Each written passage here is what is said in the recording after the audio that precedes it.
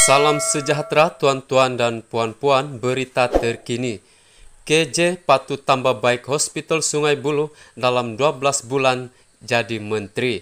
Sumber dipetik dari Malaysia Kini, berita sepenuhnya.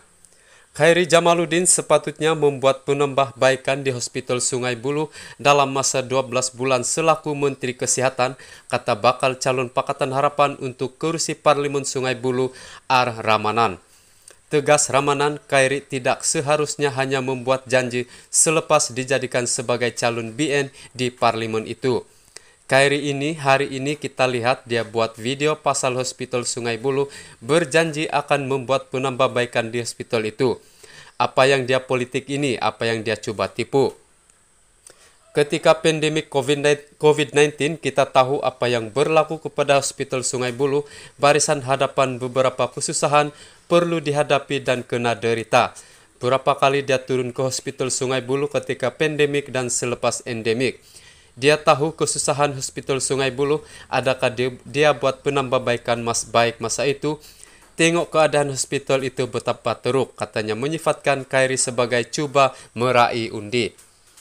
Ramanan berkata demikian ketika mengulas video Kairi berdurasi sekitar 3 menit di media sosial miliknya bagi menjawab persoalan pencalonannya di Sungai Buloh.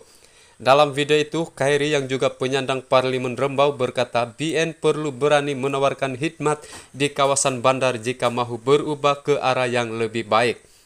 Khairi turut berjanji jika menang akan berusaha membawa penambahbaikan yang besar kepada Hospital Sungai Buloh. Bagaimanapun Ramanan berkata bahwa dia percaya pengundi Sungai Buloh tidak akan tertipu dengan janji-janji manis Khairi.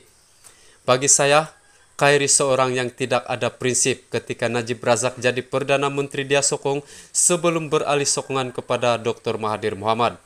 Ketika zaman Muhyiddin Yassin, dia mempertahankan habis-habisan bekas Perdana Menteri itu dan kini membuat ceramah bahwa Ismail Sabri Perdana Menteri, Menteri terbaik untuk Malaysia.